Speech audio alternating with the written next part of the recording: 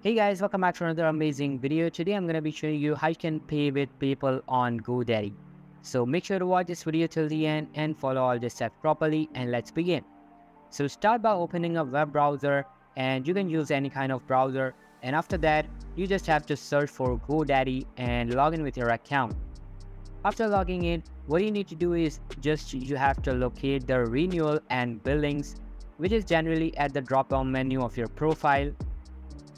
If you go over to your profile at the upper right corner, you can access it and after that you just have to click on downward arrow to, to open it and select renewal and billing. Inside it you'll be able to see and tweak all of the settings related to your billing of your account.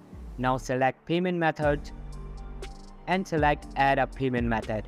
In the dialog box select PayPal account instead of card then input your credentials in the specified columns and then authorize it. After authorization, your PayPal account will get linked with your GoDaddy account. And that's how you can pay with PayPal on GoDaddy.